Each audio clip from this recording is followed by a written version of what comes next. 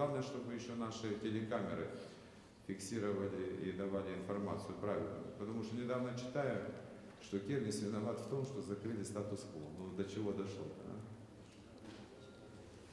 Вот сидит там журналистка молодая. Взяла, написала, что написала, сама не знаю. Ей руководитель этой службы говорит, что это очень сильно преувеличено воздействие городской власти. Нет, она пишет, что Кернис. Во всем виноват Кернис, правильно?